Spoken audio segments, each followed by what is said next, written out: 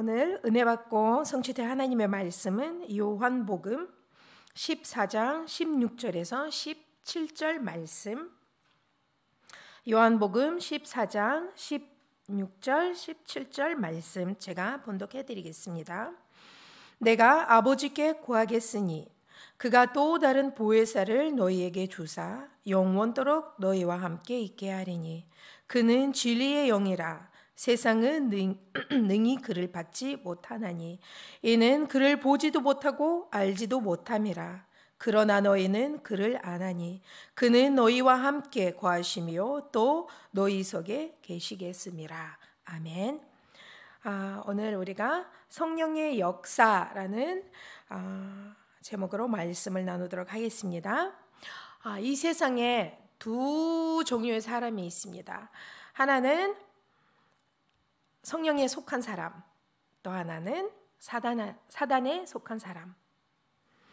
음, 다른 말로 뭐 사단에 사로잡힌 사람, 성령에 사로잡힌 사람이죠. 그렇죠? 성령에 사로잡힌 사람은 이미 구원받은 사람입니다. 하나님의 백성, 하나님의 자녀. 사단에 잡힌 사람은 요한복음 8장 44절 마귀의 자녀입니다. 사단에 잡힌 사람들은 오늘날 오늘까지 문화를 만들고 그렇죠? 우리 랩런트들이 좋아하는 음악을 만들고 우리가 입고 먹고 모든 것을 보고 그 모든 것들을 사실은 그 사람들이 만들고 있습니다. 한마디로 다 문화죠. 하지만 성령에 아, 사로잡힌 사람들은 이 모든 것들을 복음의 문화로 만들어 나가야 됩니다. 근데 내 힘으로는 절대 안 되거든요. 그리고 성령을 성경을 안다고 해 가지고 그것도 또 되지도 않습니다. 우리가 성령으로 충만할 때 그리고 성령 인도를 받을 때 그리고 성령의 역사를 따라 나갈 때만 가능합니다. 왜냐하면 내가 하는 것이 아니기 때문입니다. 아, 성경의 일곱 명 랩런트를 항상 예를 들어 말씀을 음, 드리는데 사실은 모든 성경에 믿는 사람들 그리고 인물들은 하나님의 하나님께 쓰임 받는 사람들은 항상 내 지식, 내 힘으로 움직여 나가는 것이 아니라 성령을 따라 움직였습니다. 구약에는 성령님이 뒤로 갈 수도 있고 나올 수도 있었잖아요. 그렇죠? 근데 신약에는 예수님께서 함께 하셨고 그리고 예수님이 십자가에 돌아가신 이후 성령을 보내 주신다고 하셨어요. 오늘 본문 말씀에. 그 성령이 우리와 함께 영원히 같이 함께 하실 것을 약속하셨습니다. 지금은 우리가 믿는 그 예수님, 하나님, 내 마음속에 영원히 함께 거하십니다. 믿으시죠?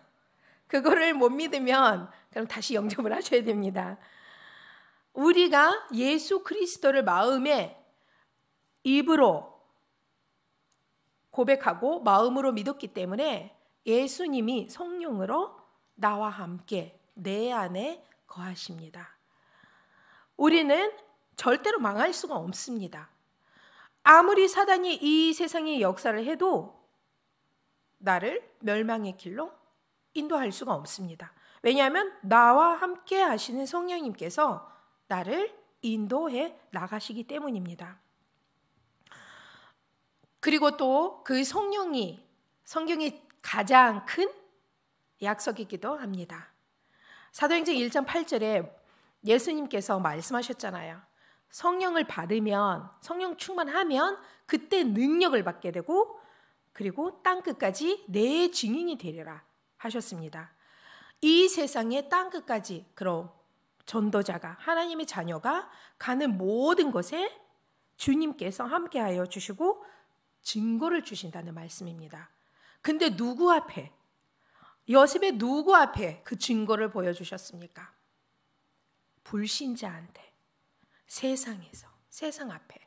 마찬가지로 오늘 나와 함께 계시는 성령님께서 나에게 증거를 주시는데 그 증거를 가지고 나는 현장에 갈 때 불신자들 앞에 이 세상 앞에 보여줍니다. 그럼 첫 번째 우리가 성령 역사를 체험하려면 세 가지를 알아야 됩니다. 제일 먼저 당연한 것이에요. 당연하고 제일 중요한 것이에요. 그게 성령 내주입니다. 제일 중요한 것. 고린도전서 3장 16절 말씀. 너희 안에 성령이 계심을 알지 못하느냐? 내 안에 성령 함께 계시기 때문에 나는 구원 받은 하나님의 자녀. 함께 하시기 때문에 내 안에 거하시기 때문에 나는 하나님의 자녀입니다. 성령님께서 내 안에 거하시기 때문에 나는 영원한 생명을 얻은 자입니다. 생명을 하나님의 생명을 소유한 자입니다. 그럼 하나님의 생명이 내 안에 있기 때문에 나는 살아있는 하나님의 자녀입니다. 제일 먼저 성령 내주. 일곱 가지 축복 중에 성령 내주. 너무 중요합니다. 두 번째는 성령 인도입니다. 성령님께서 내 안에 거하시기만 하는 것이 아니라 나를 인도해 나가십니다.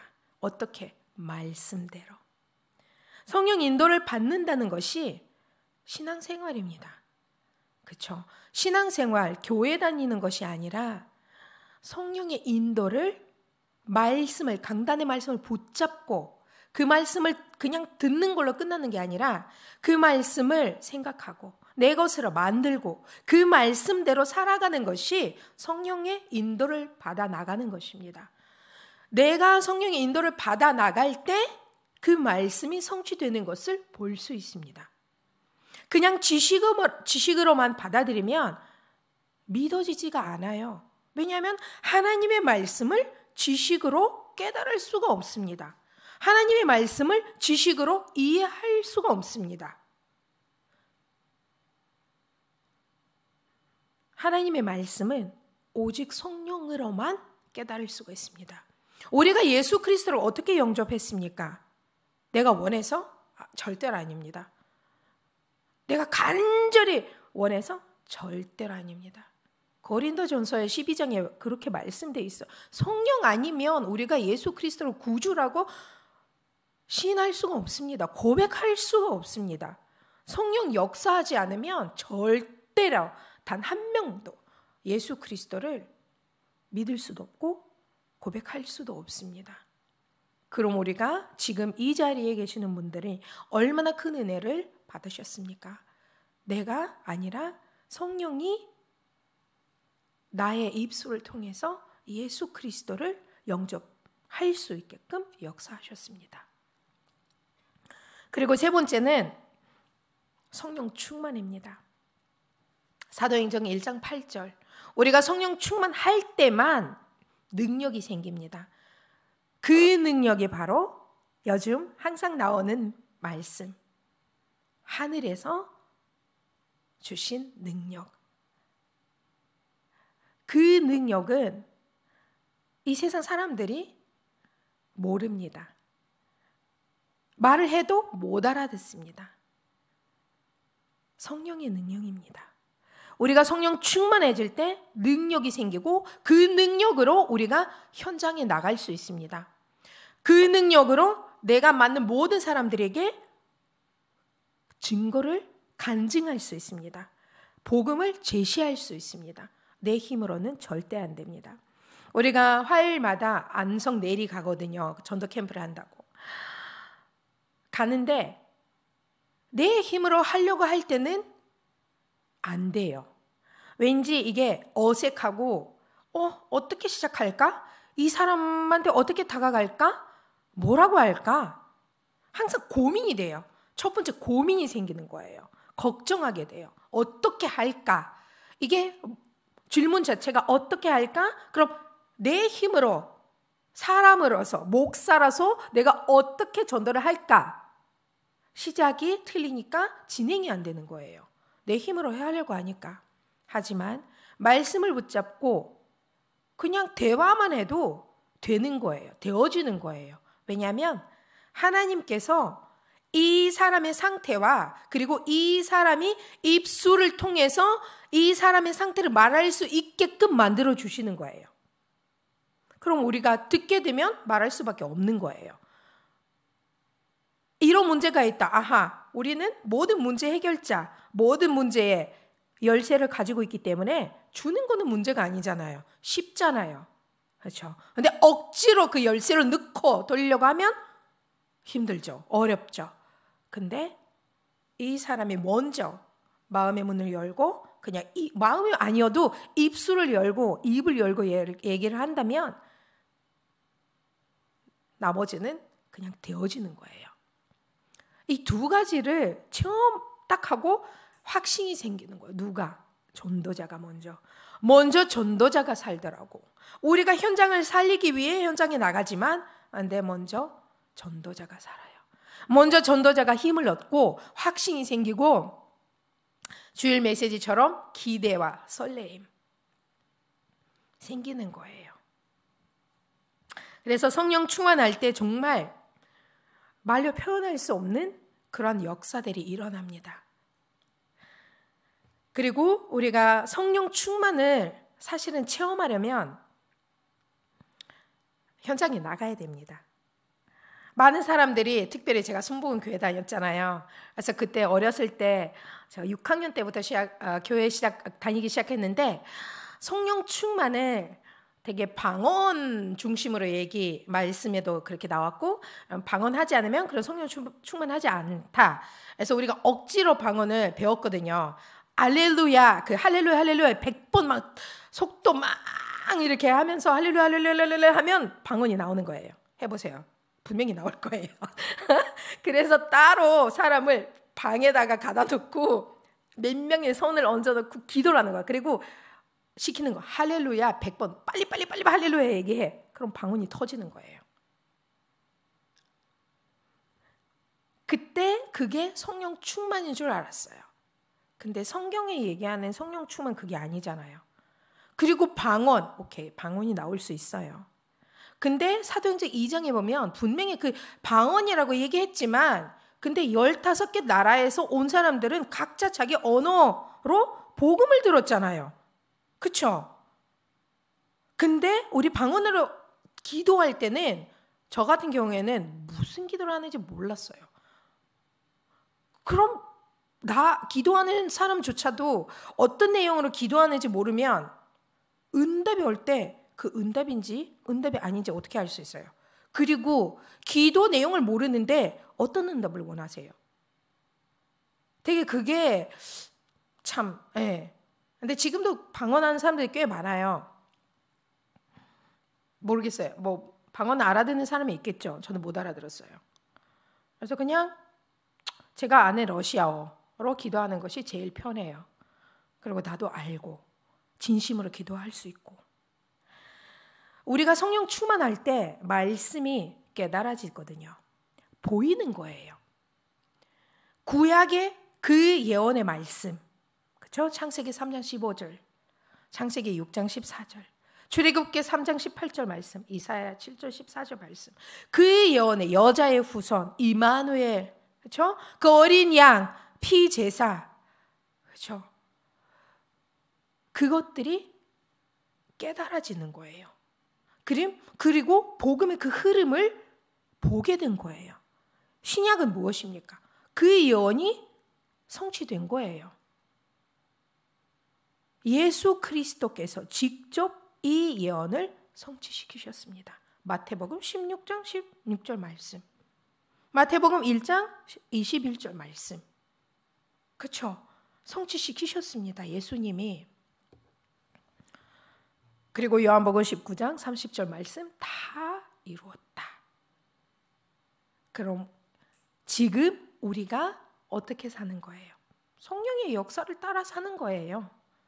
예수님께서 말씀하시는 대로 성령 충만하고 능력을 받고 증인의 삶을 사는 거예요. 그것 또한 예수님의 나를 그렇게 만듭니다. 내가 그렇게 되는 게 아니라 예수님께서 내 증인이 되리라. 사람을 낚는 어부가 되리라. 이렇게 말씀하셨습니다.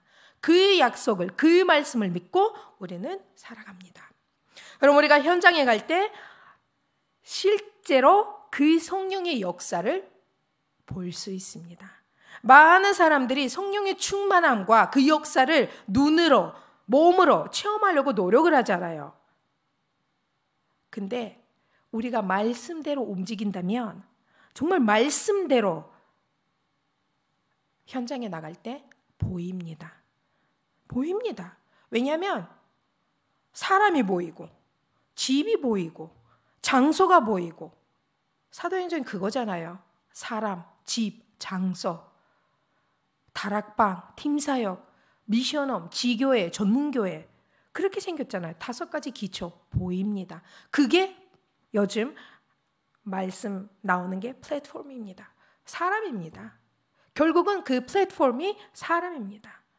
그것이 보입니다. 우리가 내리에 처음에 갈 때 항상 그 욕심이 있잖아요. 아, 빨리 만났으면, 빨리 만났으면, 그 사람 빨리 만났으면. 근데 솔직히 만났어요. 근데 그 사람이 어, 특별한 사람이거든요. 한 명은 정신 문제가 있어요. 한 명은 장애가 있어요. 한 명은 안성적이고 한 명은 내리적이에요. 근데 또 인간적인 눈으로 볼 때는 부족함이 보이잖아요. 그렇죠? 아니다. 아니겠다. 분명히 건강한 사람을 우리가 원하니까 지식이 좀 있는 사람, 좀 문이 될 수 있는 사람을 원하잖아요, 보통. 그래서 계속 현장 갔죠. 하나님 언제 부져주실 거예요? 언제? 애들이 많죠. 거기는 맨날 티시게 만나고 맨날 얘기하고 하나님 누굽니까 도대체? 근데 어느 날 다락방 하면서 하나님이 그런 거를 깨닫게 해주시는 거예요. 이미 부져주시는 줬는데 뭘 또 원해? 안 보이는 게 내 문제가 아니라 네 문제다. 맞아요.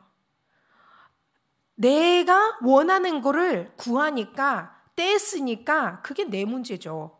성령 인도, 성령 충만, 성령 역사를 보여달라고 하는데 근데 내 맘대로 움직이니까 내 맘대로 생각하니까 내 맘대로 응답을 받으려고 하니까 안 보이는 거예요. 결국은 믿지를 않은 거예요. 그쵸? 성령의 역사를 보려면 우리가 믿어야 돼요. 구했으면 믿어야 돼요. 어떻게 우리가 성령 충만을 체험할 수 있겠어요? 믿음밖에 없습니다. 믿어야만이 체험할 수 있습니다. 믿지 않으면 내 것이 방해가 됩니다. 믿는다는 것은 모든 것을 내려놓고 오직 하나님을 바라보고 믿는 것입니다. 걱정, 고민, 의심 절대 너, 절대 금지. 그게 믿음이 아닙니다. 지금 내가 눈으로 안 보인다고 그게 안 되는 건 아니잖아요. 그쵸? 안 보이는데 근데 나는 믿어. 누구를 믿습니까? 하나님을 믿습니다. 왜냐하면 하나님께서 말씀하시는 대로 다 성취시켜 나가시기 때문입니다. 그래서 우리가 항상 복음 비밀 속으로 들어가야 됩니다. 말씀 속으로. 예수가 그리스도 모든 문제 해결자, 나의 그리스도 이 비밀 속으로 들어가야 합니다. 매일, 매 순간, 모든 만남 속에, 모든 현장 속에, 모든 어려운 문제 속에 예수가 그리스도, 나의 그리스도 이 복음 비밀 속으로 들어가야 됩니다. 현장에 나갈 때도 마찬가지입니다. 우리가 말씀과 전도 운동 속으로 들어가야 합니다. 현장에 나가야만이 우리가 역사를 볼 수 있습니다. 인도를 받을 수 있습니다. 한 자리에 기도하고 한 자리에 앉아 있으면 하나님의 사람을 보냅니까? 분명히 가라고 하셨는데 제자들 보고 나가서 가서 보낸다고 하셨잖아요. 땅 끝까지 내 증인이 되리라 하셨습니다. 한 자리에 앉아서 내가 보내줄게 안 하셨잖아요. 가서 제자 삼으라 하셨습니다. 그리고 기도 속으로 들어가야 됩니다. 결국은 말씀, 기도, 전도밖에 없습니다.